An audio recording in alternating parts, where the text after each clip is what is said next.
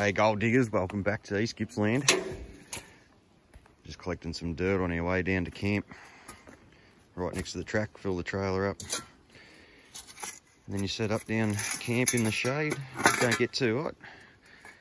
Got young Seb helping me today. Been a while since he's been in a video, he's grown a little bit. But yeah, we're just digging the Chinese throw out here take it down to camp, set the mixer up and process it all and see what we get. All right, help him shovel, I suppose. Check out the size of the scrub worms we're finding.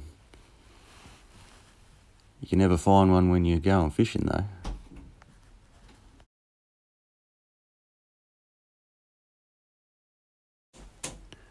Thought I'd show you the trips before this weekend's trip, but um, this was the first attempt with the mixer. Massive fail. I forgot to take all my hoses, so yeah, didn't have enough water. Had to bucket the water into it, but we still got gold out of it. Second attempt, plenty of water this time. Having this setup makes shoveling easy as. No need to clean off the grizzly bars. All the rocks came out as clean as a whistle. It really works well. Big Davo and I must have put through at least a metre of dirt in an hour. So happy I finally made this setup. We've tested the mats and have found the pickers stay in the barrel while the fine gold gets caught in the mats, mostly in the top mat. I was a little worried with how the water surges out of the mixer bowl, but after a full trail load and there was only one fly poo in the pan at the end of the sluice, I reckon I can live with that.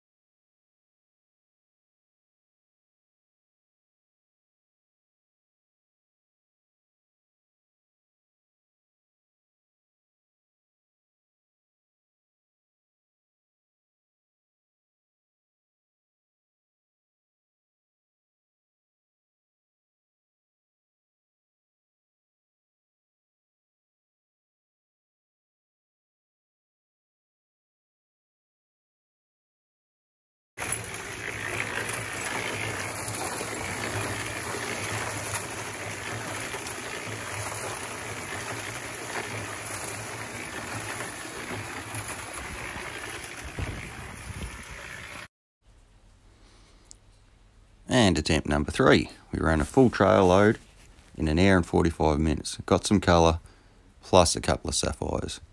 Not a bad trip.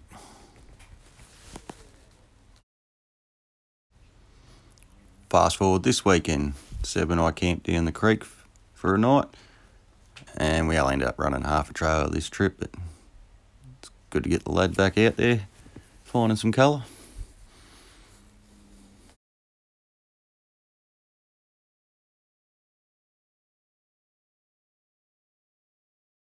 Been running for a little while.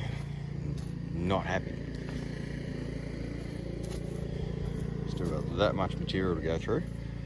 But the old dim sim cement mixer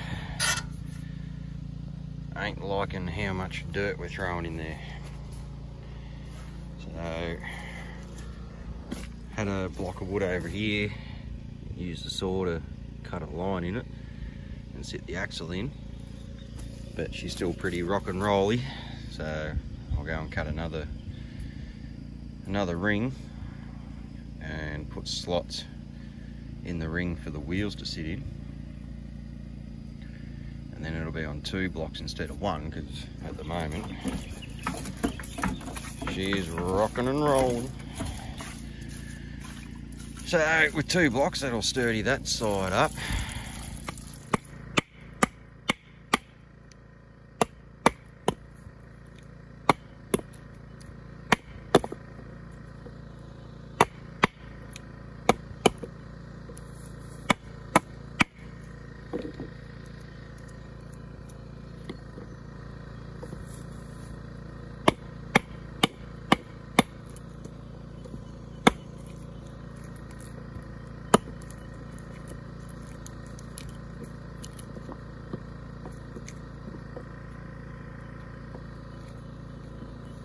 Beautiful.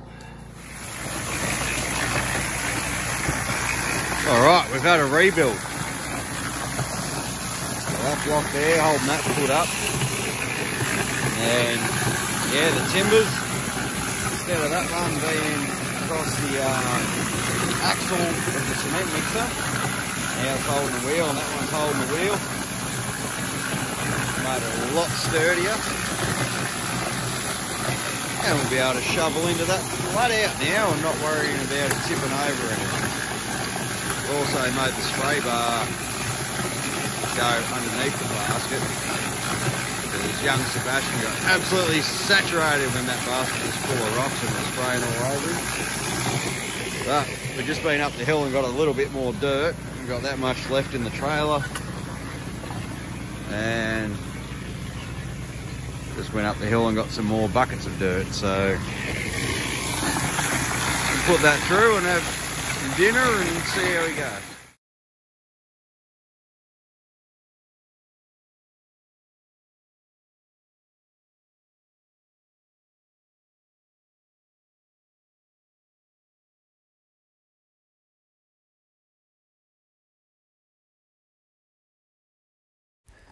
Well, Saturday night rolled on. We got a visit from the Gold Whisperer. Then on Sunday, Boothie come down to see us as well. Haven't caught up with them two dudes for a while, so it was good. But yeah, Seb and I didn't run any more dirt after that half a trailer, but it looks like we're averaging one gram of gold per trail load. So best I get a bit fitter and get back out there. Thanks for watching guys, we'll see you on the next one.